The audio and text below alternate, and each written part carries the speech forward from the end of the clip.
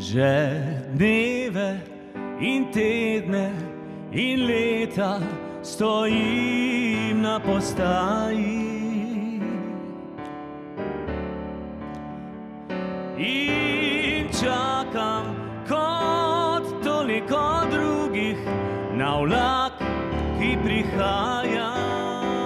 Oh, oh, oh.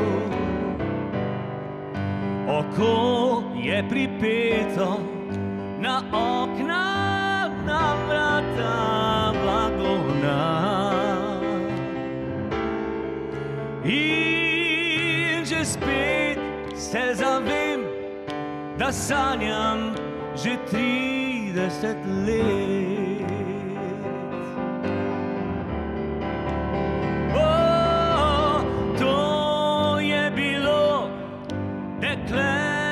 Črnih glas in begalih oči.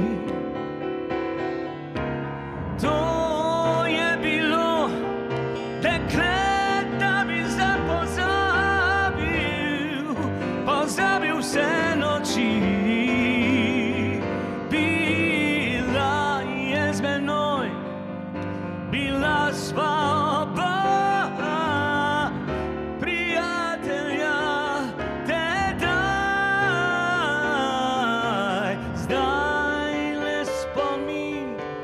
njene oči še živi.